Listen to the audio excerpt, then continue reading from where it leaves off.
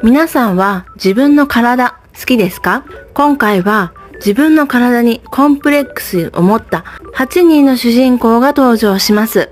こちら、西加奈子著、私に会いたい。こちらは自分の体や生きづらさを見つめる珠玉の短編小説集になっているんですが、そのうちの一つ、私に会いたいをご紹介します。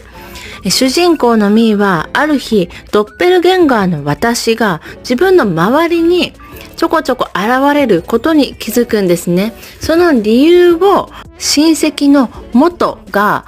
一緒になって探していってくれるという話です。自分に自信がなくいじめられていたミーが発した私に会いたいという言葉が世界を揺るがしていきます。読んだ後、自分の体が愛おしく、そして生きていることの素晴らしさに気づける作品集です。